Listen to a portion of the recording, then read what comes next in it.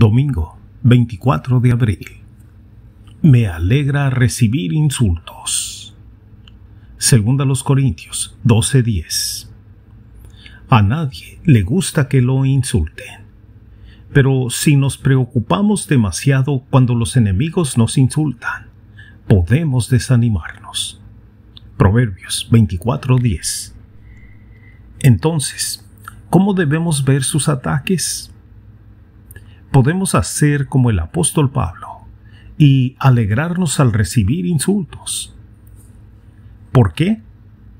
Porque los insultos y la oposición son prueba de que somos verdaderos discípulos de Cristo. Primera de Pedro 4:14 Jesús dijo que sus seguidores sufrirían persecución. Juan 15, 18 al 20 y eso fue lo que pasó en el siglo I. Por ejemplo, para los que se habían dejado influir por la cultura griega, los cristianos eran ignorantes e inferiores. Y para los judíos eran hombres comunes y con poca educación, como dijeron de los apóstoles Pedro y Juan.